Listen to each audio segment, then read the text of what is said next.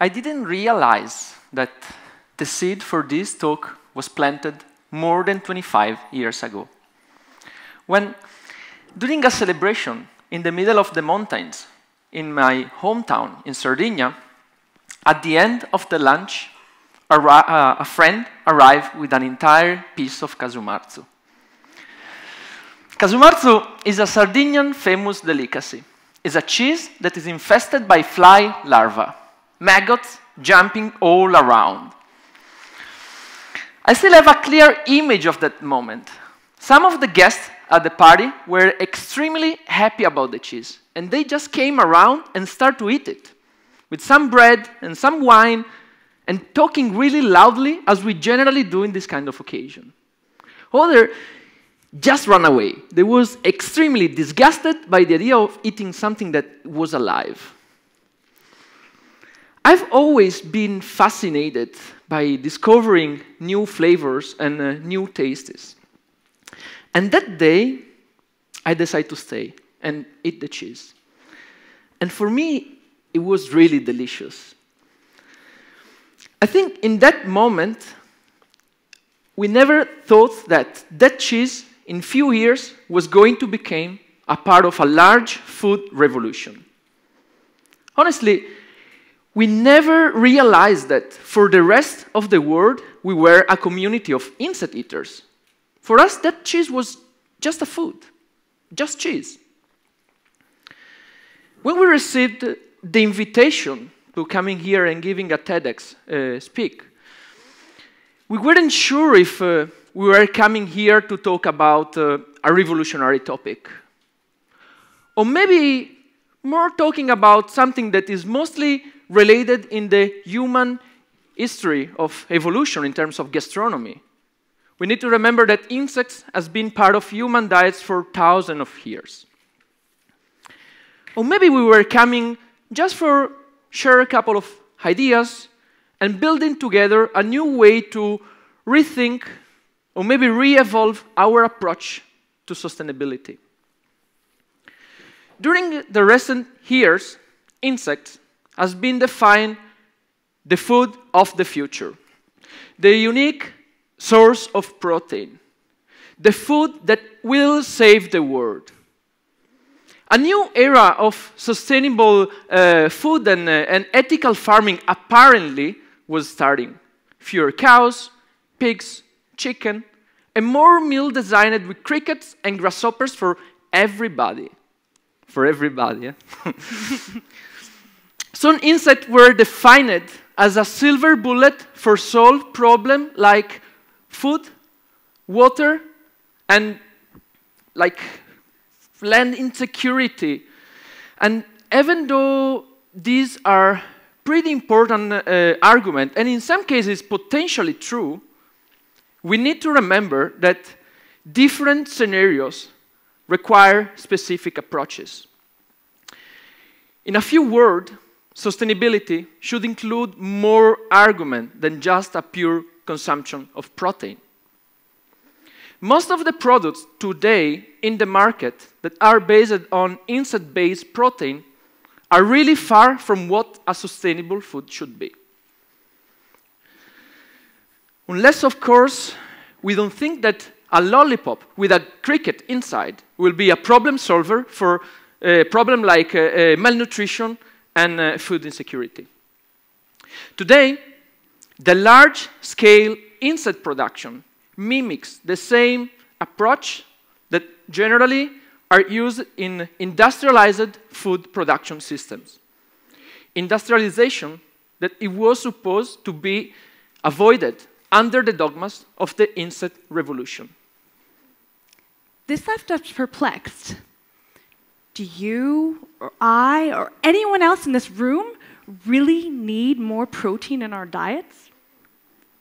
Here in Europe, the amount of protein that we consume is by far enough. In fact, the problem is not about the quantity, but rather the quality of the products and the farming systems which, under which meat is produced.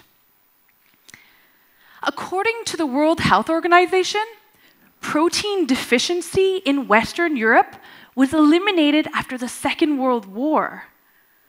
A modern European diet contains enough protein to maintain health in the majority of the population.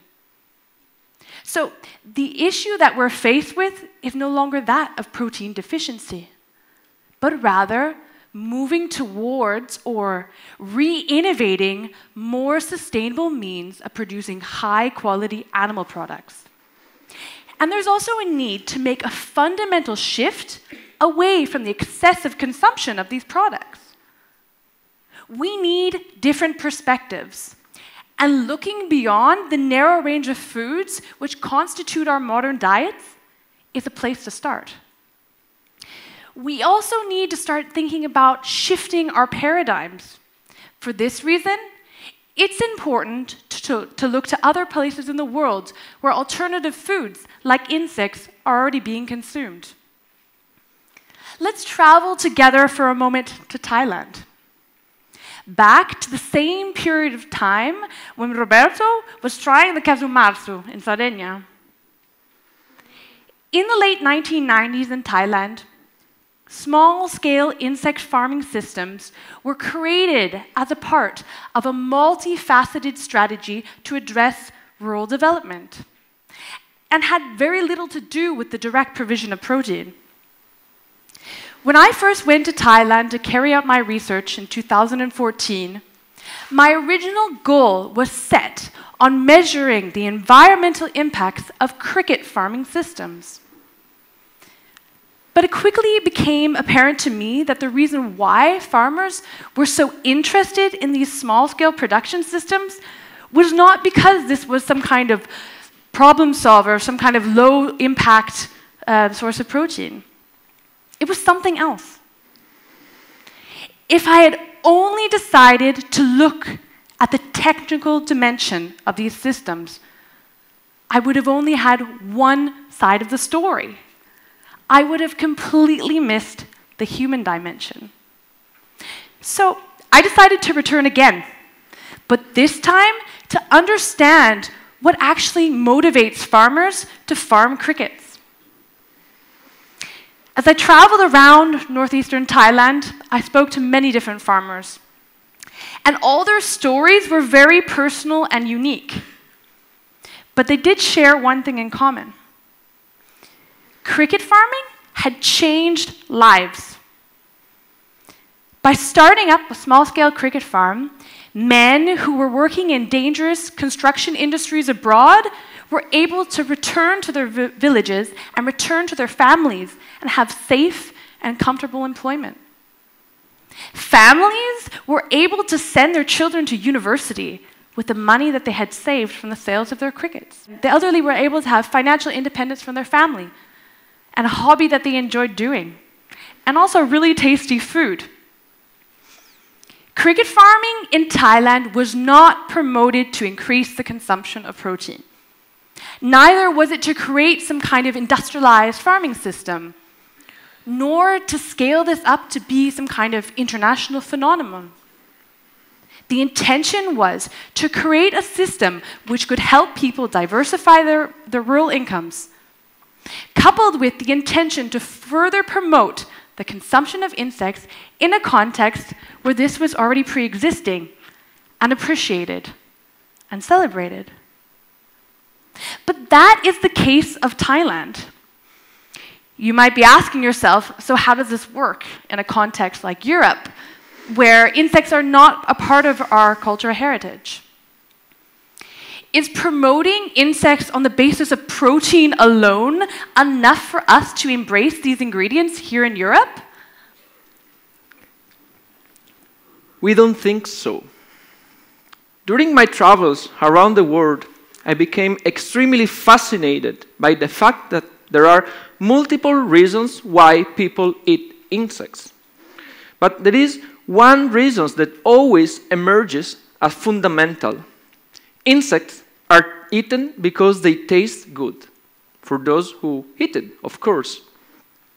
Generally, insects are collected fresh from the wild as a seasonal delicacy.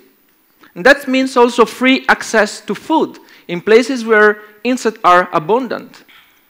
insects are also cooked fresh as a normal ingredient, as a food. So, what about us here in Europe?